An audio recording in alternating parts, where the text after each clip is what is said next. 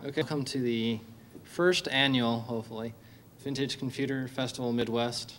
I'm Patrick Finnegan. I'm supposedly the organizer. The, the event is being co-sponsored by Purdue's branch of the IEEE Computer Society, their student club on campus. Grateful for them helping and uh, helping us get cheaper accommodations here. Uh, we're going to have two speaker, three speakers this morning. We have a late edition.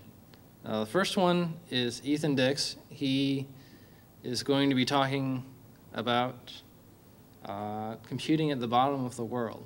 He works part-time, uh, part-time being for a, a winter at a time down in Antarctica. And he's back and we'll be going back there sometime. October. few- In October. And uh, next speaker that we'll have will be Hans Franks. He's here all the way from Germany. He's going to be giving a brief talk about photographing computers. And our final speaker of the day is Ray Borrell, who has been a member of the uh, commuter, computer community here in Indiana for 20 years or so. Something like that. Um, so we're going to get started. I'll give this off to Ethan. Thanks. Thanks, Pat.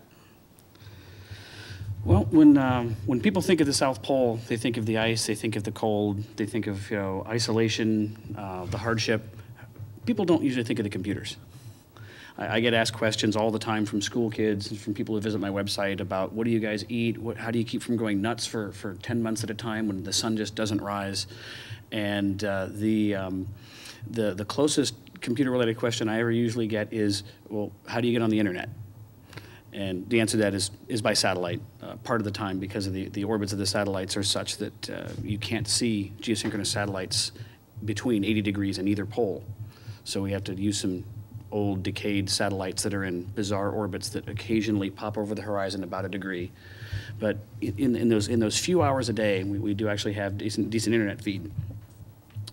But uh, it wasn't always like that when uh, after the heroic age of Antarctic exploration with Scott and Shackleton and all those those greats, there really wasn't much of anything going on. Just a few guys here and there through the 20s and 30s and, and, and 40s. But after World War II, as part of the Cold War uh, race, the United States uh, set up a station at the coast, McMurdo Station, and set a, a station at the pole in 1957 to, um, to, to, to reside there.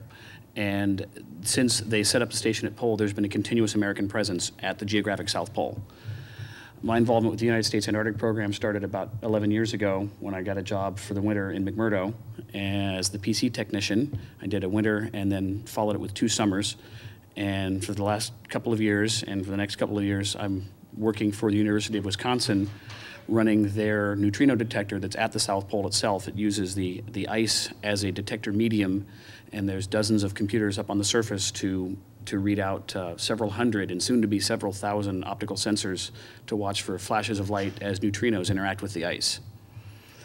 And the, um, the job I have now is very interesting, Look, looking for the application for it.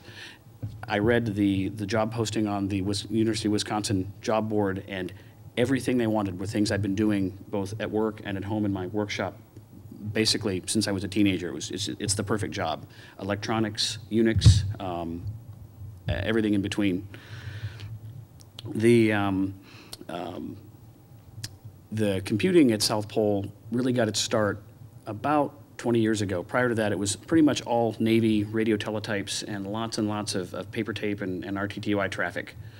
And starting when the civilians began to come in and people wanted to have access to computers, um, ITT Antarctic Services was the contractor. I, it was a branch of ITT, the guys that make phones and make other electronic products. So they came in with a phone switch and wired the place for telephones and began providing computers to the program. And they upgraded to Zenith 286s sometime in the early 90s uh, through Navy procurement. And at, at that time, the network was you stuck a floppy in your parka pocket and hoped that it didn't freeze before you got to the next building where you might be able to print something out. And that was supplanted by a T1 network from building to building in town where they had CDUs and PDUs in, in, different, in different buildings to, to build a, a what what effectively could be a metropolitan area network over a square mile using long-haul equipment. But it was inexpensive and it worked, relatively inexpensive. And about 11 years ago, they wired the entire town of McMurdo with fiber, and they now have a, um, a fiber token ring all the way around town, and then Ethernet dropped off of that. Uh, when I say token ring, the FDDI, sorry, um, and then uh, FDDI carrying Ethernet traffic. And over the years, as they keep replacing things, they, they've moved up. Now it's strictly an Ethernet and um, over fiber, no, uh, no FDDI. And, um, and um, for the business world, because there's a, there's a support contractor that changes from time to time. It was ITT Antarctic Services, it's currently Raytheon Polar Services Company. The contractor tends to be very business-oriented. They provide services for, um, for the scientists under contract with the NSF. Services include um, dishwashers, bus drivers, IT personnel, office people, cooks, everything. And then the other side of the house is the science. And I've, I've worked on both sides. Currently, I'm working, working for a science group. And with their business attachments, they're, they're very Windows and Microsoft oriented, whereas the science community is very Linux and Unix and Mac oriented. So it provides for some interesting um, interface issues. Um, when I first came down in 1995, I was there for probably two weeks when somebody called me up and said, I can't print. So I wandered across town, found the building in, in a maze of buildings in, in, a, in a strange town, finally found the location. Sure enough, the guy's a printer, hooked up to his local PC, everything's plugged in, everything's turned on, but he can't print. And I poke around, and I poke around, and I poke around, and can't get it to print. Everything else is working great. I can log on, I can do a variety of other things with the computer. And after about 20 minutes, the, the user says, Well, maybe it has something to do with the smoke that came out of the computer. And I said, Why didn't you tell me about the smoke? Well, I was using my computer and smoke came out of it. Really? Wow. I think I've got to take this into the shop. And it was, a, it was an old Dell 316SX um, in an era when back in the United States, people were using 486s with 16 megs of RAM. This, the standard machine on your desk was a 386SX with 2 megs and a floppy drive and NetBoot over Novell. It was about three or four years behind the times. And that's a result of the, the supply chain to get things to Antarctica. You have to sort of order things one year, it sort of ships over the summer, and then when it arrives, it arrives right at the end of summer. You put it away, and you come back the next fiscal year. So this basically, you buy it in fiscal year one, and you get to use it in fiscal year three. So everything is horribly out of date.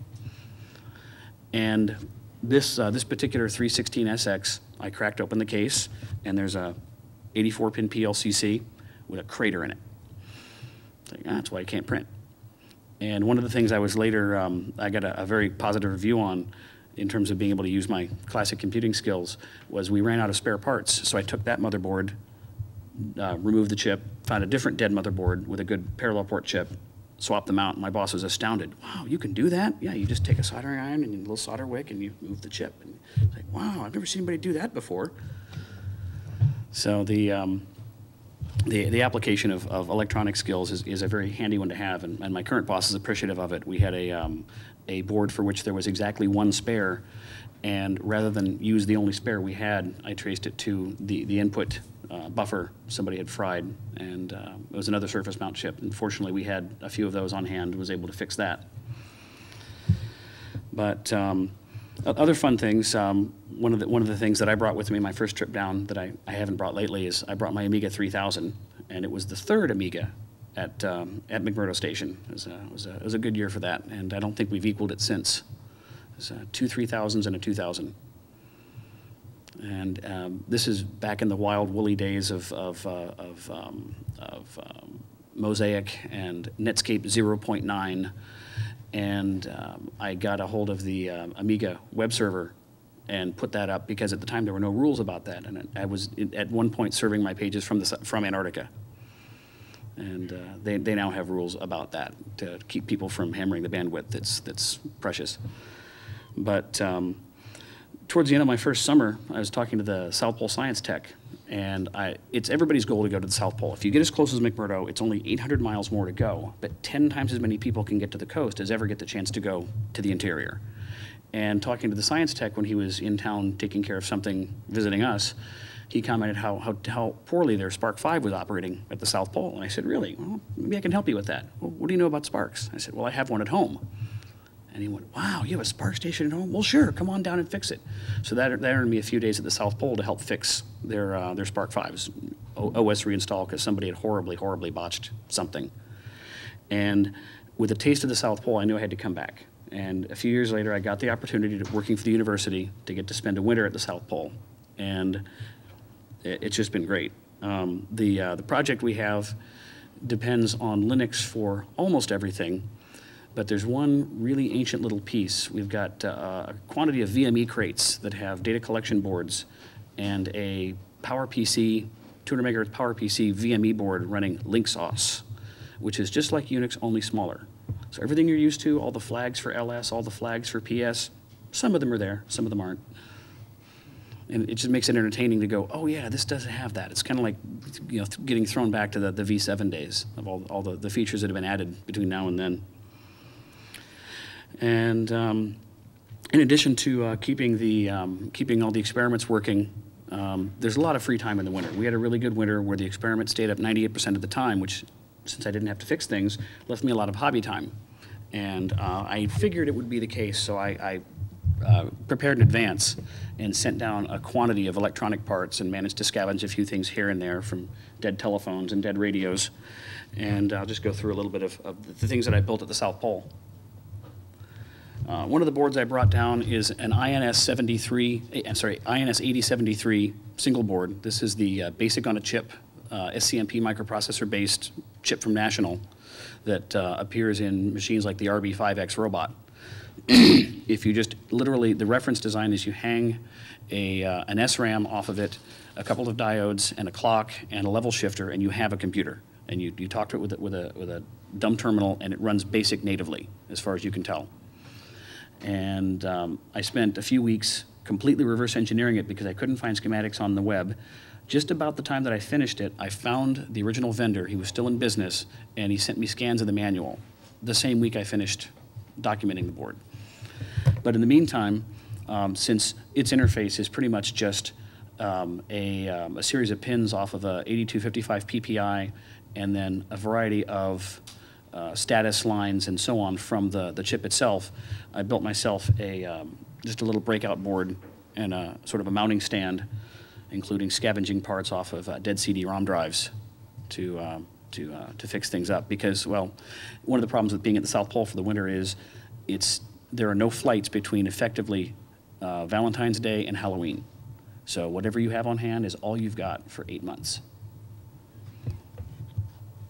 And I started to clone the board just because I have a few of the chips on my own. But unfortunately, I didn't get very far before the sun came up and it was time to actually get back to serious work and get the station ready for the new guys who were coming in a few weeks.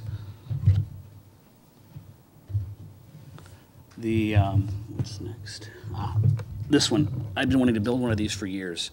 One of the machines I built as a kid was a, a Quest Elf bought the, bought the bare board and bought all the parts when I was in high school and put it together. But I'd always wanted to have a popular electronics elf. So during the summer, I'd made arrangements to get all the parts down and spent the better part of April in my spare time putting it together on a point-to-point design. And with only one wiring mistake, it worked the first time. And the best part was um, when I brought it home and was able to hook it up to a, a monochrome monitor, the, the Pixie video worked the first time, and that was, that was a great thrill. And all the parts are still available. If anybody ever ever gets an interest in an elf, it can be yours. The um, oops, wrong side.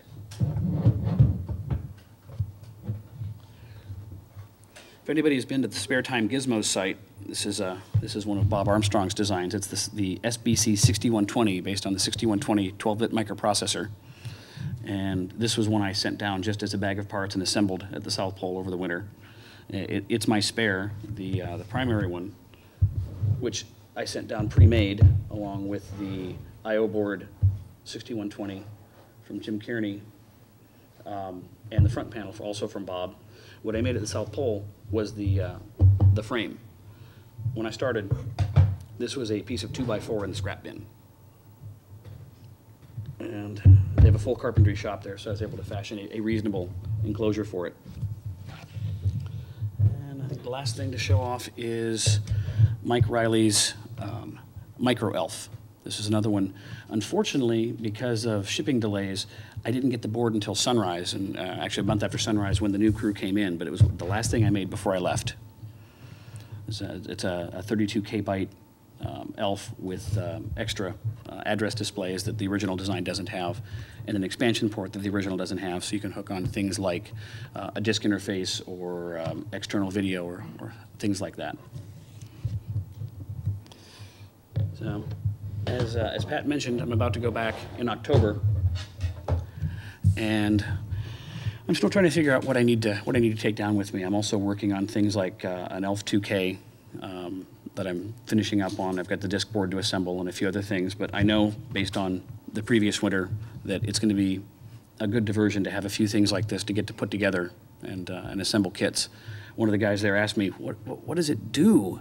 And after a while of trying to come up with an explanation that somebody who isn't interested in these things, finally he said, oh, it's like building ships in bottles. And I said, yes, it's just like building ships in bottles. It doesn't have to do anything. Just, just the act of building it is, is, is, is where the enjoyment is. And then the nice thing is if you want to do something with it, uh, run adventure on a 12-bit computer, you can. But for me at least, I've been building kits since I was a kid. Just, just the construction is a pleasure. So um, at this point, um, I guess, um, hmm. I guess it'd be a good time for questions. I'm kind of out of prepared material. If anybody wants to ask anything, it'll probably trigger trigger a story here and there. Do I take donations? Um, well, I do. It's possible to mail things to the South Pole during the summer. I mean, I, I wouldn't want somebody to try to mail, you know, like a PDP 1134. It's a bit heavy, but uh, you know, small hmm, small things wouldn't, wouldn't be terrible. What did you have in mind? Um, I don't know that I'd necessarily want to want to have to, deal with shipping an Amiga both ways. Um, I mean, I'm, I'm, when I'm when I'm not at the South Pole, I'm in Columbus, so I don't know I don't know where you're based, but um, I'm, I'm yeah. Sorry, I keep forgetting there's in Columbus, Indiana. Um, but yeah, the um, yeah, we, we, we can talk. Anybody else?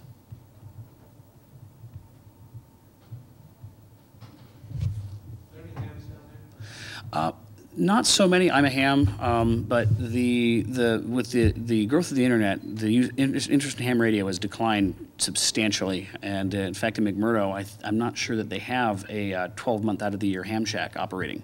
South Pole, it's all under the dome currently, and I don't know as they're decommissioning all those buildings as they go from the the 1970s station under the dome to the new station that they're still finishing. Um, I know that there, there is, of course, a comms area, but I don't know what it has in terms of, uh, of, of, ham radio sorts of equipment. Um, the, um, um it, it is a shame because the, um, the internet is not universally reliable. It's even worse when you're at the bottom of a multiple thousand mile satellite link. Uh, we get everything from, um, uh, for instance, this, this month is a particular time of the year when the GOES 3 satellite, one of the ones we use, happens to be eclipsed by the Earth as it goes around the backside. The geometry is just right that there's a, about a 90 minute dark window, and the satellite is so old, they don't want to run the batteries too far down, so they turn off the transmitters during the, um, during the, uh, the eclipse phase. So we have this notch in our daily activity where they just no we're not going to use it right now shut it off. And there's other we've had other problems. Last year the nine meter dish the elevation screw broke two days into winter. And they after a few weeks of fiddling around they managed to find a way to prop things up using uh, three quarter inch all thread and angle bracket so that they could at least sort of wiggle it back and forth a little bit, and they were able to take um, no pass out of four hours and at least get a couple of hours of low bandwidth pass. So even with all these things happening over and over again, they still seem to feel that, that ham radio is, is unimportant. And the other problem we have, though, is that they use a lot of HF communications, but it's all on military frequencies. So we can't use the regular day-to-day -day stuff because hams can't access those frequencies. Sorry, all the what? Um, there is at South Pole an old Compaq 386 that happens to be on RTTY. It was actually used last year because nothing else was working. It, it was during our 12, 12 hour dark interval for the internet, and Iridium wasn't working properly, so they had to fire up the RTTY and use it. But it's a, it's a PC version of the old stuff. But it's, it's still installed, and it, it got used in the last 12 months. And so hopefully they'll consider moving it or something that replaces it into the new station, because you can point to this and say, see, we needed this. It's, one of the problems there is, is that because the Antarctic Treaty specifies that everything you bring down has to be brought back, there's very much a mentality of, when we're done using this, we have to put it in a box and get it out of here. And it's very hard to keep certain spares down there because they say, well, we haven't used one of these parts in, in, oh, three years, it must be useless. And they, somebody else comes in, throws it in a box, and you come back looking for it, oh, where did this go? We shipped it back, it was useless. But I need one. And, and I fought that a lot since um, a lot of people either in their experiments either just say, well, I guess we just don't get any more science this year, or, well, we'll send one down next summer. Uh, my boss told me flat out, uptime is your most important goal. Since the nature of our experiment is, unlike a regular telescope where you point it at some patch of the sky and say, I'm going to take readings from 1 to 2 o'clock today, if you have to fix the telescope, well, I guess I'm going to take readings from 2 to 3 o'clock today.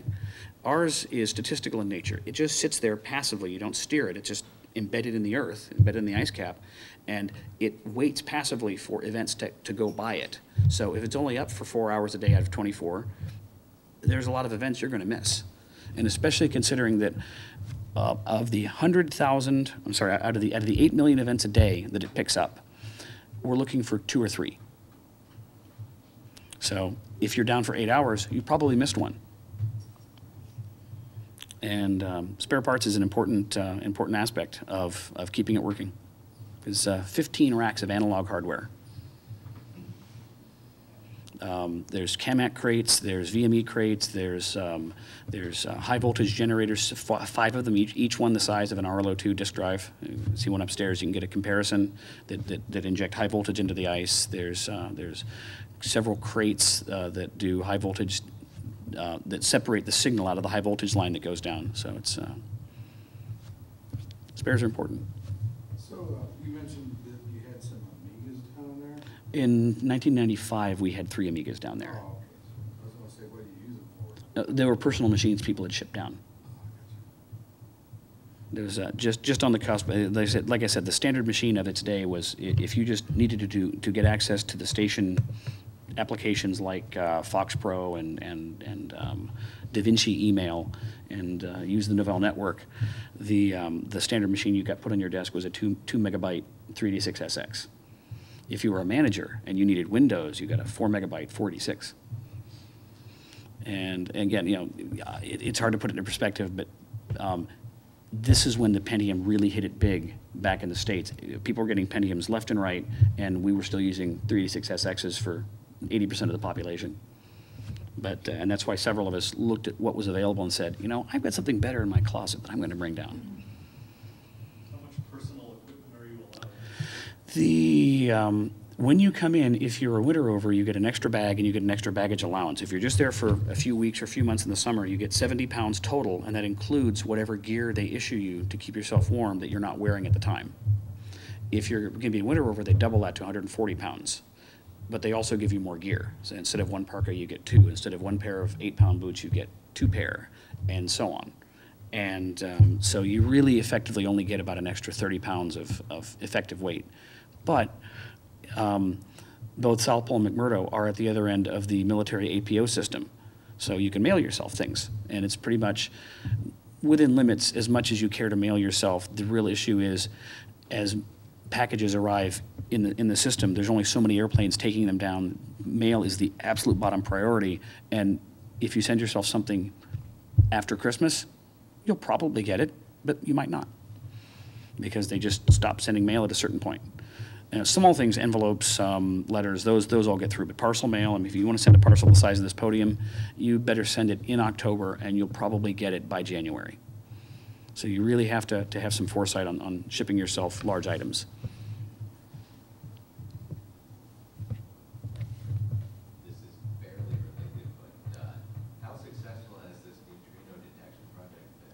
How successful? Uh, well, quite successful. Um, enough that um, the the current detector that's been in place starting in 1996 through they stopped they finished installing it in 2000 or 2001 before I worked for the project. Um, they spent about 20 million dollars on it to basically more or less prove yes we can do it this way, and it was successful enough to to win a 280 million dollar grant from the government to go build the bigger one. So it was, it was successful enough to get more money. And so right now, we're like two or three years into a 10-year cycle to build the new one, which is all, um, it's based on FPGAs and ARM microprocessors, where each sensor ball has a photomultiplier tube and several circuit boards, including an ARM in every, in every ball. And there's uh, 4,800 of them buried a mile or more down, and several hundred more scattered on the surface. So it's basically a 5,000 computer sensor network that all talk up through uh, digital serial cables that carry DC voltage down to power things and carry data back up on the same wires, and then several hundred computers on the surface to set, set values, collect timestamps, and, and run the detector. They, they're, they're turning a two-story dormitory into the, uh, the, the computer room for the top of this detector. And no windows. It's all, it's, ba- What's the goal uh, it, it's a telescope. It's a, it's a neutrino telescope. then? And uh, what's that gonna do as far as scientifically?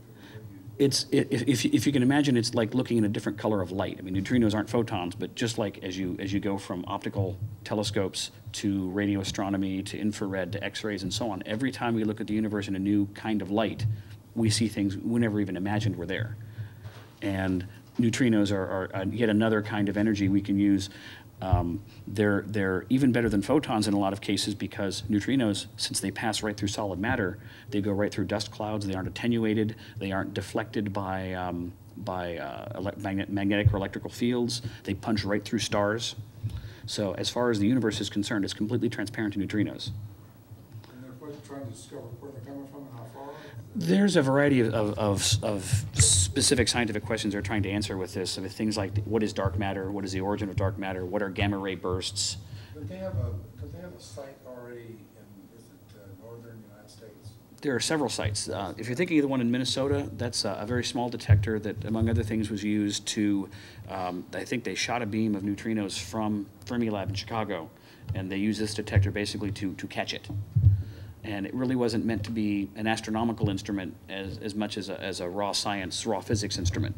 The one, the one that was in a cave north, I think it's west there, way west. Yeah, From there, like that was in a cave, they were using water to begin with. Right, right. You, you need some detection medium. The, fir- the very first neutrino detector, well, the neutrino was basically the result of rounding error resolution 70 years ago. Um, Wolfgang Pauli basically looked at, looked at some equations about the, the combinations of protons and neutrons and, and all the masses and energies and said, I have this crumb left over. There must be a particle that's, that's created during this reaction, but we'll never be able to find it because it's, it's massless and it's chargeless and, and it won't interact with us.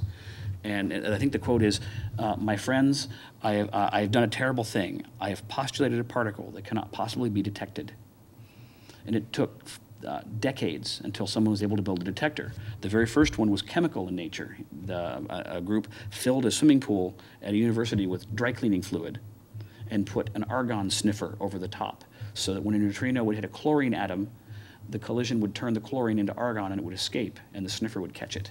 And it caught one argon atom per day, proving that neutrinos exist because nothing else would, would have this exact effect. And um, in the case of the South Pole, in case of Amanda and now IceCube, the, um, as I said, there's about 100 events a second that the, the, the the detector picks up. The, um, the, um, the, base, the, the basic one is atmospheric muons created by cosmic rays travel just far enough into the ice to be detected. We don't want to see those. Those happen all the time. We're, we're being showered with them constantly. What we want to find is neutrinos. And so as long as we can reverse the trajectory of where the particle came from, and we can show that it came through the Earth, there's only one thing that can do that, and that's neutrino. So every, every particle's path we trace back, if it's from the northern hemisphere, since we're at the top of the southern hemisphere, if it's from the northern hemisphere, it has to be neutrino. And it's sort of like Seurat's pointillistic paintings, where you sort of make a painting out of lots of little tiny dots. You know, on, on Thursday, here's two dots. Friday, oh, we got four dots. On Saturday, we got two dots again. And over time, you can sort of fill in a picture of the sky based on, well, here's one, here's one, here's one, here's one. But at, at two or three a day, it takes a long time to make a picture of anything. That other site that's up in Montana, or wherever it is in the cave, they were using, I, I guess it was water, to begin with, Yeah. heavy water. Yeah. And they switched it to some sort of oil eventually. I- Filled the cave with that. Right. And like, it- I don't know how far below the surface it is, but it's quite a ways. Yeah. And they were just, um, uh, trying to catch the neutrinos from that point. Yeah, there's different places that they're loading, locating, and that's what you're doing, the South Pole. Right, we're- we're- our- Making a, making a different, uh, taking a different look at. The universe, in a different right, way. right. And, and there, there's, there's neutrino detectors, uh, they're, they're working on one that's gonna be in the Mediterranean, it's using, it's using seawater as the detector medium, we're using ice. And there's, there's different pluses and minuses, one of the things they have to worry about is, is, is, um, potassium forty is radioactive and produces a visible flash of light to the detector, so they have to realize that sometimes what they're gonna see is, is potassium breakdowns. And we don't have that because there is no potassium, radioactive potassium in South Pole ice. So, any, any other questions?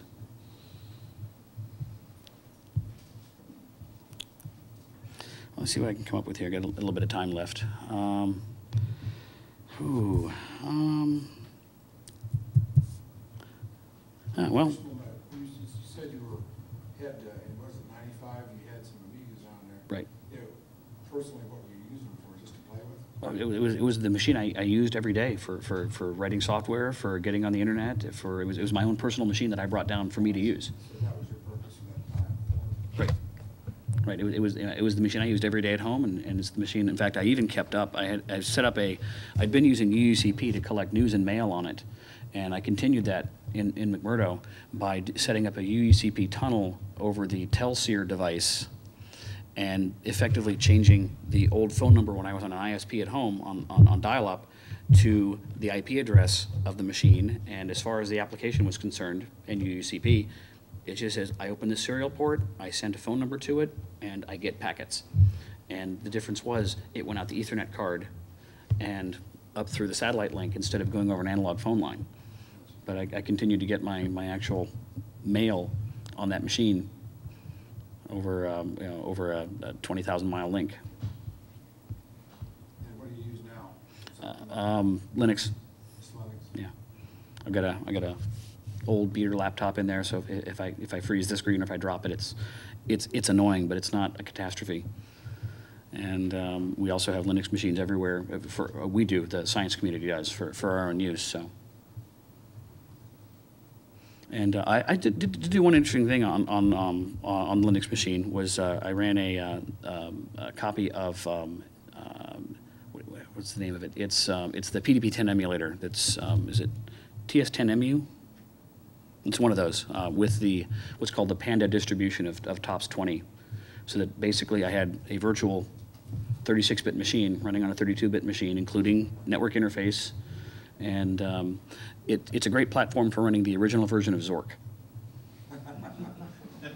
Since one of my hobby projects is, um, is I ported the original code from um, MIT, the, the Muddle code, to Inform so people could play original Dungeon, original Zork on, on everything from Palm Pilots to Commodore 64s to, to modern machines.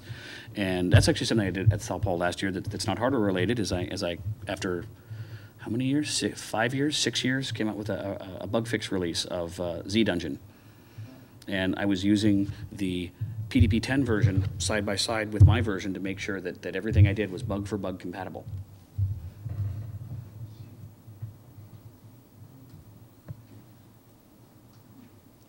Any, any other questions? Um, well, uh, I think I pretty much um, been through it all. Uh, Pat, is, is Hans here or? Okay, still upstairs. Well, let's see. What can I, what can I fill time with? Okay. Well, did you want to say a few things or about, about the day or? Okay. Well, thank you very much.